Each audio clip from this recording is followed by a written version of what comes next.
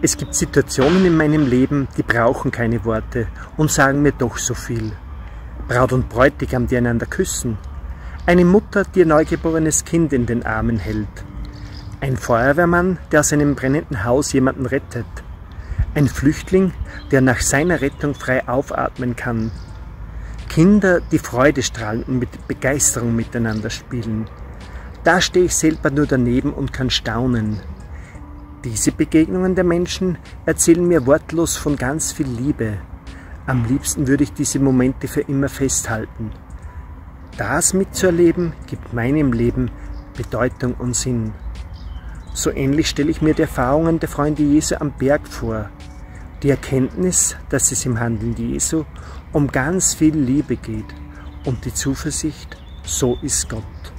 Ich wünsche Ihnen Staunen über die Liebe Gottes in unserer Welt.